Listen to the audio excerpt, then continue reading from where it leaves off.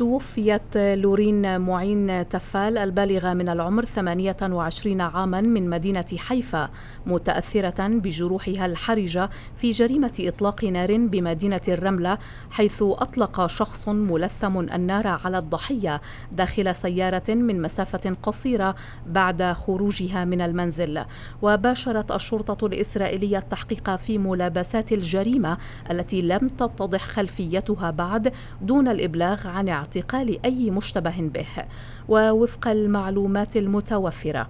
فإن زوج الضحية رمضان ووالده مصطفى مصراطي قتلا في جريمة إطلاق نار في عام 2015 في نفس المكان أيضا. ويشهد المجتمع العربي عدة جرائم إطلاق نار خلال ساعات قريبة. في بعض البلدات أسفرت عن إصابات خطيرة في البعنة وكفر قاسم وجديدة المكر وحيفا.